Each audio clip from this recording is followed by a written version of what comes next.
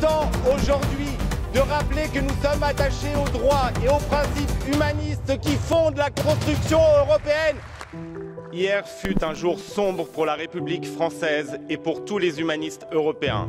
Hier, le maire de Saint-Brévin-les-Pins, Yannick Morez, a été acculé à la démission après des mois de menaces de mort contre lui et sa famille, des mois de harcèlement par l'extrême droite, après avoir vu sa voiture et sa maison brûler en pleine nuit alors qu'il dormait avec sa femme.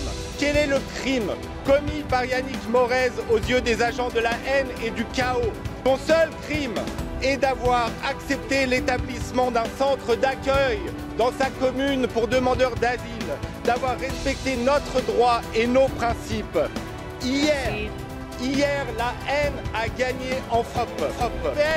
Il est temps de se lever, de se lever en l'honneur de Yannick Morez, de se lever pour le droit et de montrer que la haine ne gagnera pas en Europe.